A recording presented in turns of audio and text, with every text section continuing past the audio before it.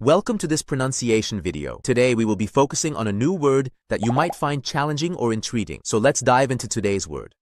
Tito, which means, a diminutive of the name Titus or a nickname for a dictator. let's say it all together. Tito. Tito. Tito. One more time. Tito. Tito. Tito. Thank you for joining us on this adventure in pronunciation. Remember, language is a journey, not a destination. Keep exploring, experimenting, and expanding your linguistic horizons. We'll see you next time.